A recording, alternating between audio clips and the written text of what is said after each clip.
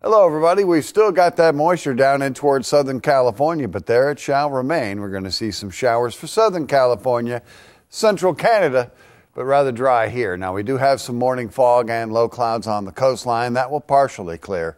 Daytime highs in the low to mid 60s for today. Overnight lows tonight dropping down to near the 50 degree mark with a partly to mostly cloudy sky.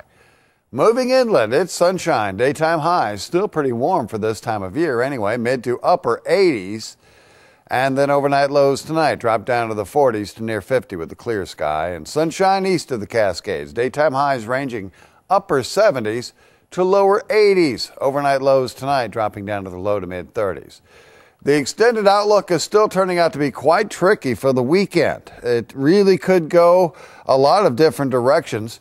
I'm really painting something that's sort of in between. Now going for above normal daytime highs, but that could even go away.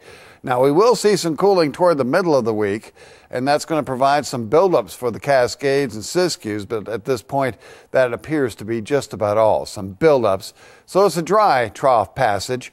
If there's any change in that, it would be for Modoc County on Thursday. So Modoc County, check updates. Otherwise, we are dealing with uh, some morning clouds and fog on the coastline the next three days, but it looks like offshore flow right now for Friday, Saturday.